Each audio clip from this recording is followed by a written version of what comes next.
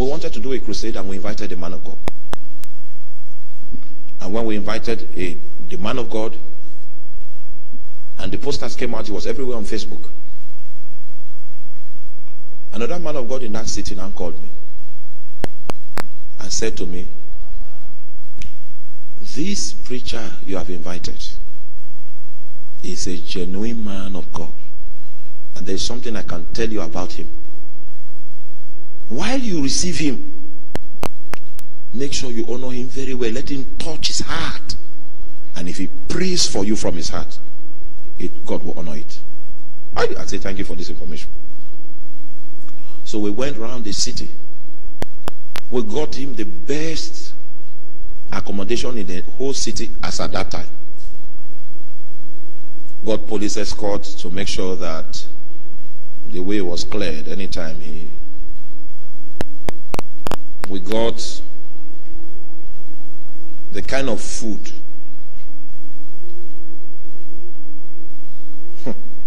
We got food.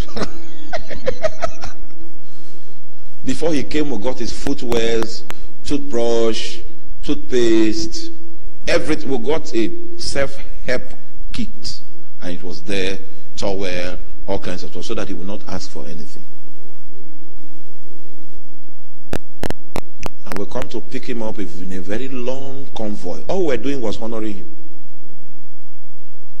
First day. Second day. Third day. Then you now ask God, what does this boy want?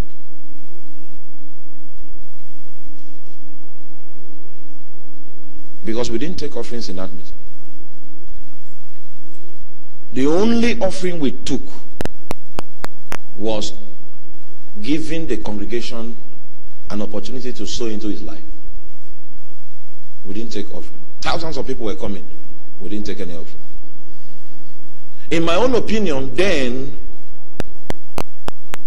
workers in the state were being owed salaries for nine months, eight months. I didn't feel it in my heart that it was justified to come take offerings in that crusade when they have not been. I know they have not been paid for nine months. So we didn't take any of it.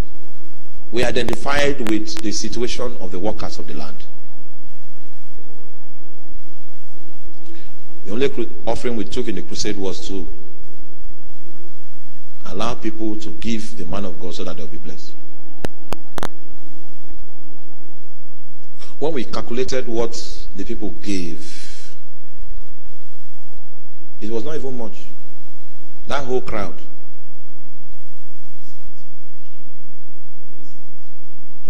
The whole crowd.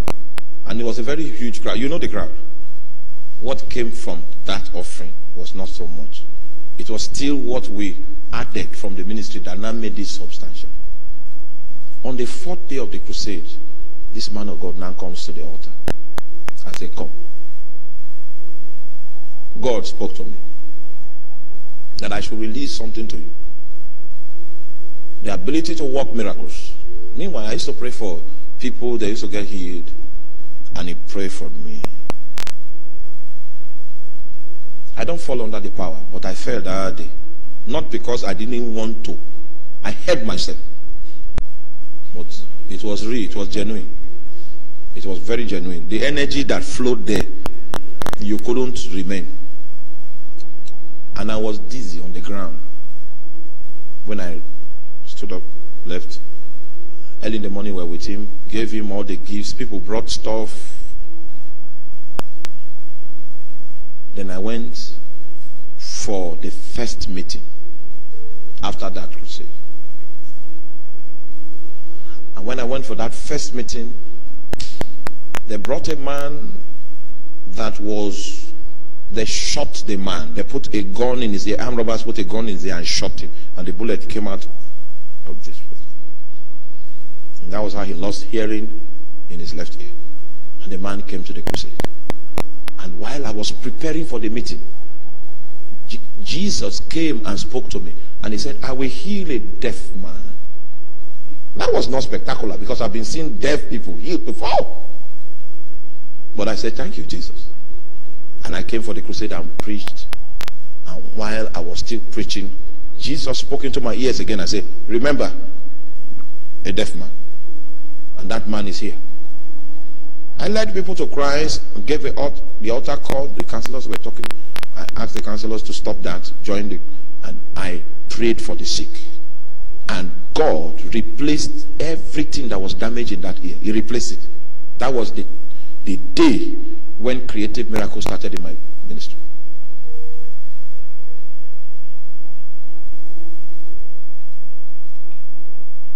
Went somewhere in the south south to preach. Somebody's kidney was damaged, and I prayed for him. He went back to the hospital, and they saw that he had a new kidney. They were trying to put him on dialysis, and they tested he had a new kidney. I went to Kano to preach, and the guy that was playing the keyboard, he was not as skilled as most of our guys, but I needed sound to enter into the spirit. He was praying rubbish, but at least he was playing. After the meeting, our Kano pastor brought him and said he was a sickler. And I laid hands on him and I prayed for him. And he went back for a test. And the test was taking hours to come out because he had a doctor that was managing him. He became AS. So the doctor was he tested his reagents. You know, in, in chemistry, first of all, you test the integrity of the reagents. He did that. And then tested again. It was AS. No, he brought a new set of reagents, he tested it, and God became angry and made the man AA.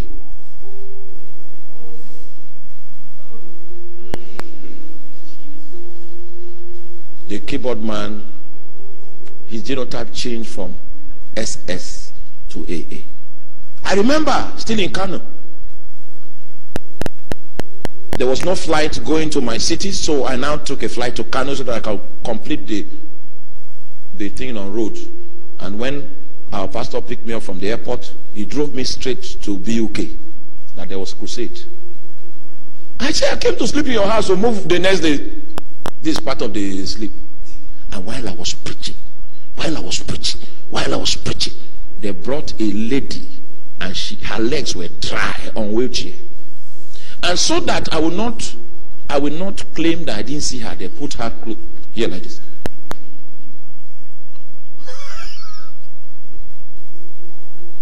Do you know what? These guys were in the rain. The rain was falling. Heavy rain. And there was a massive crowd in the rain. And the power of God broke out on that field. Me too. It was only where I was staying that they there was they put one covering, so I was the only one that was not in the rain. I couldn't take it, so me too, I had to stand rain.